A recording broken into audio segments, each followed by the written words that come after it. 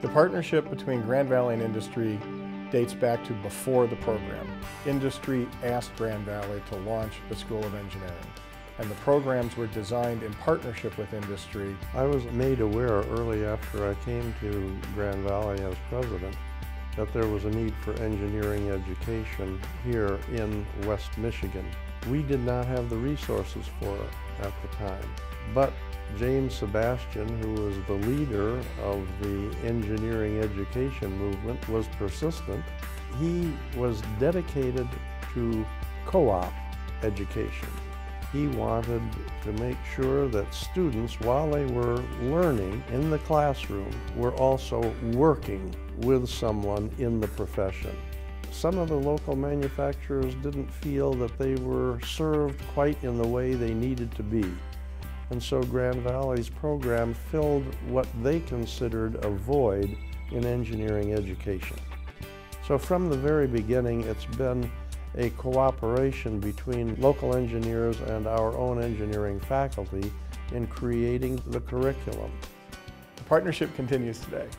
All of our students continue to do co-op, have a year of experience before they graduate. They all do industry-based senior projects, that capstone experience.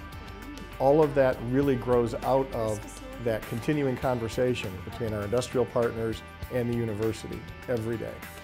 We have faculty out at every co-op site every semester that kind of interaction just gives us tremendous opportunities to bring the real world into the curriculum. We have co-op students, their primary area of focus here at GE is in our test engineering group. We see a large difference with the Grand Valley students. They typically have a very sound theoretical background, but they also know how to apply it in the everyday world. The Grand Valley students are very good at looking at the whole problem, not just an individual discipline. My senior project was an automotive seat and it got me thinking about seating and ergonomics and led me to what I'm doing today. In school you work a lot with other engineers but at co-op you learn to work with finance, marketing, manufacturing to deliver the product to the customer. Now that I'm out in the real world, we have co-ops that come in and it's great to be able to talk with them, teach them things, learn from them what they're learning in school. I have to say that my experiences here at Grand Valley prepared me for what I'm doing right now. One of the things that I do appreciate about Grand Valley is the uh, great blend between theory part of engineering and also the practical part of engineering. You learn how to work with people. You learn how to lead. Um, um, you also learn how to um, create opportunities for yourself. The way we teach engineering at Grand Valley is different from what you have at many institutions. Because all of our students have that work experience, the faculty can structure their courses differently. They know that students have different experiences to hang the information on in the classroom and in the laboratory, and we end up doing even more project work than is typical in most programs. I'm a physical therapist at Lincoln Developmental Center. The students here have physical, cognitive, and a lot of medical issues. I'm working with Grand Valley's engineering department and providing ideas. The students in the engineering department have been really dedicated to our project. Many of our students are not able to move on their own, so by having a device that converts their own custom seating manual wheelchair into a power wheelchair, they're able to have more success.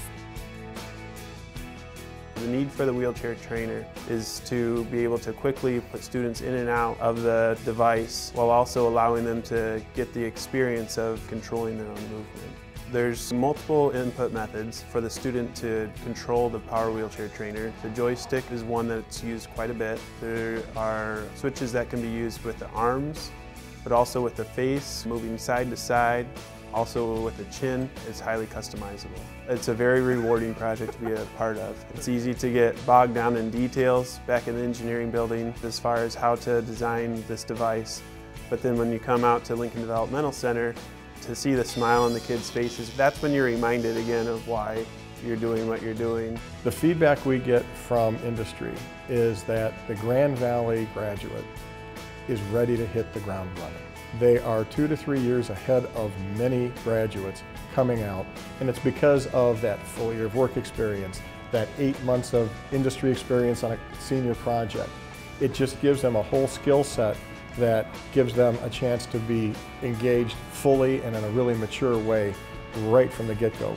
Grand Valley's greatest contribution to the community is providing excellent engineers for them. What better source of engineers could a company have than that which Grand Valley provides?